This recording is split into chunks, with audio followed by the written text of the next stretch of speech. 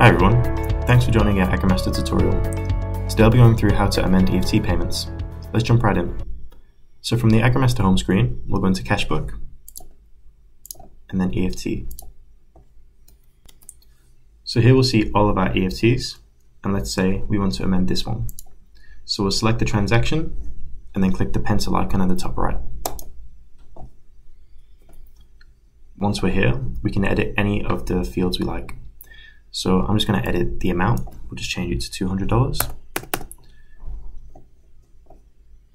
And once we've made these changes, we can click the green tick to save. And when we back out, we'll see that our EFT payment is still there, but the amount has now changed.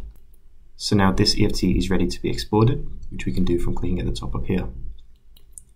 Thank you for watching everyone. If you need more information, please have a look at our help articles or book a one-on-one -on -one consultancy and training session with our team all are linked in the description box.